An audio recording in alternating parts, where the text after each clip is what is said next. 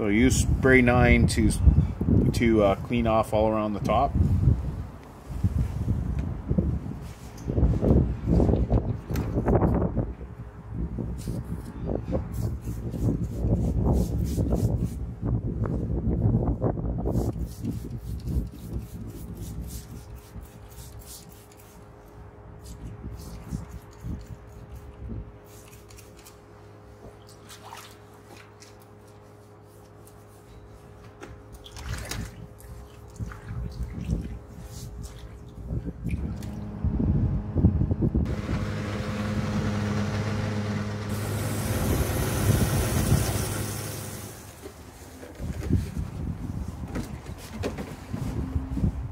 So what you want to do is you want to loosen these off.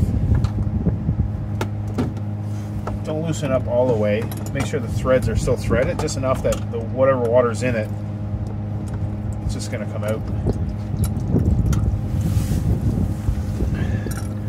Just a little bit of water in there. So just so I do is I blow every single jet. Just go around and blow every single jet every single one from the top down.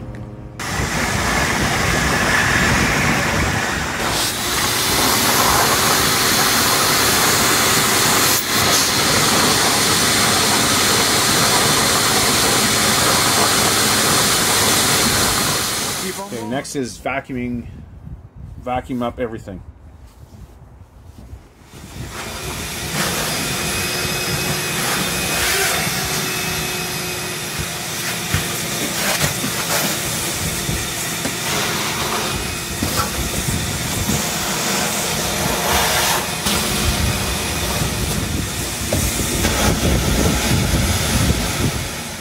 Antifreeze in everywhere.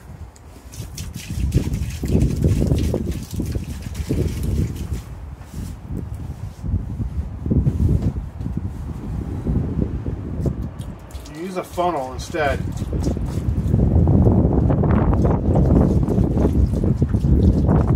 Antifreeze in. Just use a funnel and put it put the funnel in here and just and pour it down where the skimmer is. Pour it down everywhere. So we're gonna do is we're gonna put antifreeze. I kind of move the pipe up a bit so I can pour the antifreeze in there. Want to get it in the front of that pump. You don't necessarily have to do it, but on this one I'm doing. I'm gonna I'm gonna put it in. Each tub's gonna be different, so I want to get it in there so it doesn't break. But uh, you can put it in the the jets. Um, use a funnel, put the antifreeze in, and just really quickly use a blower and just trying to blow it through all the lines best way of doing it. So if this helped you out at all, make sure you subscribe, hit a like, and we'll see you on the next one.